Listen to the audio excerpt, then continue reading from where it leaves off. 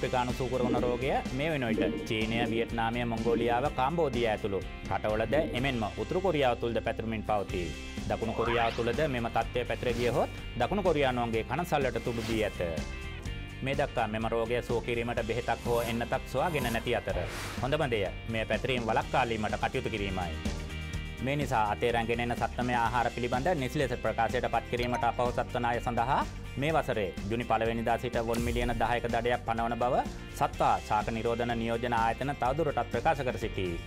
අප්‍රිකාන සූකරන පවතින් රටවලින් පැමිණෙන පුද්ගලයෙන් අත්බෑගයන් තුළ රැගෙනන කූරුමත් සැනි සත්තමය ආහාර පිළිබඳ හරියට ප්‍රකාශයට පත් නොකළහොත් දඩ මුදල වැඩිවන අතර උල්ලංඝනය කරන ලද නීති ප්‍රමාණය අනුව එය තවත් වැඩිවනු ඇත.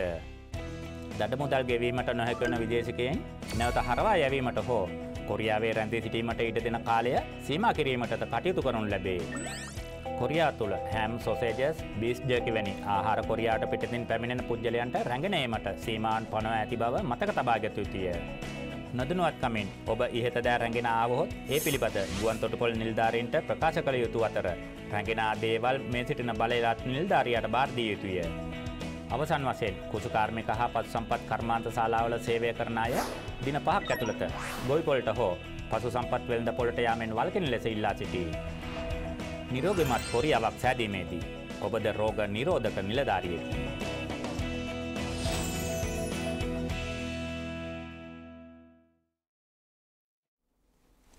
අයිබෝවන් විදේශික සමකයන් අතරද විරකයාව සඳහා වන මුදල තමන් විසින් රැකිය ආරක්ෂණය ආයදුම් පවා නොදන්න අය ගොඩක් සිටී.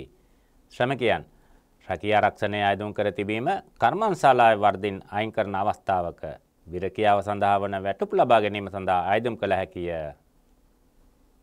වියට්නාම් ශ්‍රමික පන්හොයා මහතා ඊනමය වීසා අරගෙන කොරියාවට පැමිණ එකම කර්මන්ශාලාවේ වසර දෙක කාලයක් සේවය කළහ. මෑත කාලයේදී කර්මන්ශාලාවේ රැකියාංශ මාරු කිරීම හේතුවෙන් ඔහුට රැකියාව අහිමි විය. මම පසුගිය අටවැනි මාසේ කර්මාන්ශාලාවේ වරදින් කර්මාන්ශාලා මාරු කළා. එක සැරේම රැකියාව අහිමිවීම නිසා මතයකට ආවේ විදේශික උපකාරක මධ්‍යස්ථානට කතා කරලා විමසීම් කරන්න. වාසනාවකට මෙන් පන්හොයා මහතා කර්මාන්ශාලාවකට ඇතුල් වී සේවය කර අවසන් කරන තෙක් වැටුපෙන් මාසයකට රැකියා ආරක්ෂණ ආවරණය සඳහා වොන් 17000ක මුදලක් ගෙවීම් කළහ.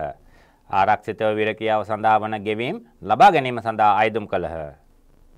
විදේශික උපකාරක මධ්‍යස්ථානයේ සහය ඇතිව විරකියාව සඳහා වන වැටුප් ලබා ගැනීමට අයදුම් කළා.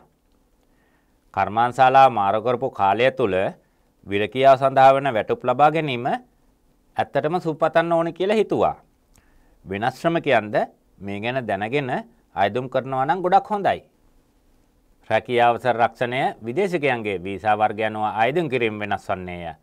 වීසා වර්ගයන් වන F2, F5, F6 අවස්ථාවන්නේදී අනිවාර්යයෙන්ම අයදුම් කළ මුත් E9 F4 H2 පැමිණීමෙන් පසු රැකියා වීසා වර්ගයන්ට අහඹුදායකත්වය ලබා ගන්නේය.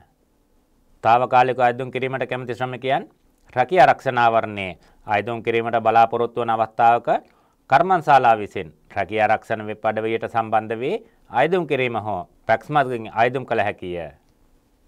විරකියාව සඳහා ගෙවන වැටුප් පෙර රැකියා ස්ථානයේ රැකියා ආරක්ෂණ කාල සීමාව මාස 6කට වඩා හරියටම දින 180කට වැඩි තිබීම තුළින් අයදුම් කළ හැකිමුත් අයදුම් කිරීමෙන් පසු පුහුණුව ලබා ගැනීමෙන් සක්‍රියව නැවත සේවයේ යෙදවීම සඳහා රැකියා කරන බවට සහතික කිරීමෙන් පසු වැටුප් ගෙවනු ඇත.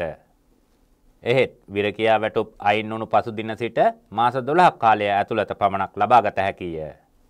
විරකියා වැටුප් ගෙවීම හේතුව නම් කර්මන්ශාලා මාරු කිරීමෙන් පසු ජීවත් වීම ආරක්ෂා කිරීම, නැවත රැකියාවක් සොයා ගන්නා තෙක් උපකාර කිරීම, විදේශික ශ්‍රමිකයන් රැකියා හිමිවීමෙන් පසු ඇතිවන ආර්ථික අස්ථාවර සමනය කිරීම සහ නැවත රැකියාවක් සොයා ගනු ඇතැයි බලාපොරොත්තු වන්නේය.